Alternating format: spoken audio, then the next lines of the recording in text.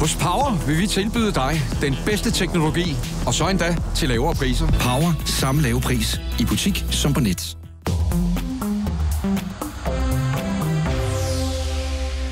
Hvis Nokia skal gøre sig forhåbning om et comeback på mobilmarkedet, så er opbakning fra operatørerne ganske afgørende. Og den gode nyhed for Nokia er, at UC, der er den største spiller her i Danmark, er positiv på forhånd. Det fortalte Kasper Ørtvig, som jeg fangede på en Skype-forbindelse. Kasper han er mobildirektør i UC, og jeg fangede ham ved Mobile World Congress. Først og fremmest så er det jo så er det rigtig forfriskende, øh, og vi ser det meget, øh, mødeser det med spænding, at Nokia kommer tilbage på markedet. Øh, altså, man kan sige, at det danske marked er meget domineret af, af tre store spillere, og, men som også i stigende grad har fokus på high-end telefoner. Og så har vi så en, en gruppe af, andre, som, har, som måske har lidt svært ved at, at finde fodfæste i det danske marked rigtigt. Og i det lys er det jo rigtig interessant, at Nokia, det vi har set fra Nokia indtil videre, øh, er nogle rigtig stærke, øh, kan man sige, mellemsegmentprodukter.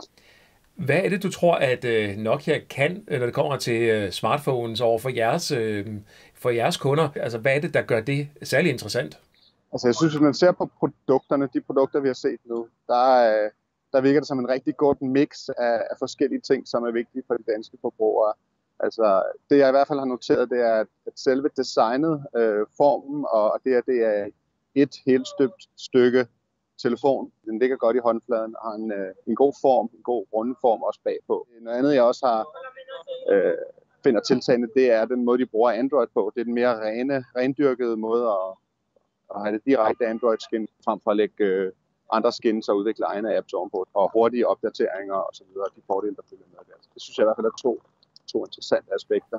Hvordan i forhold til selve øh, Nokia-brandet? Altså, tror du folk de vil købe det her af øh, nostalgihensyn, eller fordi at de rent faktisk tror på, at de får en øh, telefon, der jo, jo som for eksempel er, er bedre end nogle af de producenter, der, er, øh, der, der ikke rigtig er noget ved musikken længere? Jamen, jeg tror, det er det helt store spørgsmål, det er det her brand, og hvordan brandet vil blive modtaget, som er, som er super spændende at se. Uh, der er ingen tvivl om, at det, historikken har nok er jo ekstremt stærk, men det er jo en, kan man sige, ny, nyt i forhold til Android og i forhold til, sådan, i forhold til den måde at, at, at udvikle smartphones. Man må i hvert fald sige, at de indtil videre har skabt enormt meget øh, hype omkring det. Altså jeg synes, det, det er interessant, at det er på den her øh, messe, hvor at det virkelig er cutting edge teknologi og ekstremt avancerede produkter, der bliver vist, så er det faktisk over på Nokias bor med, med 3310, at, øh, at der er allermest øh, kø, og at folk står med glæde øh, 10-15 minutter i kø for at få lov at spille Snake. Så man i hvert fald sige, at de har, de har skabt øh, en masse god øh, opmærksomhed og en masse hype omkring det.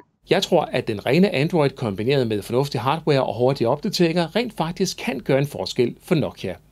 Der er i hvert fald her et hul i markedet, og om Nokia så formår at udfylde det, det får vi svaret på i løbet af tiden, der går. Det er noget, vi kommer til at følge ganske intenst på meremobil.dk. Kunne du lide videoen her, så giv den et like. Vores kanal på YouTube, den hedder Mere Mobil.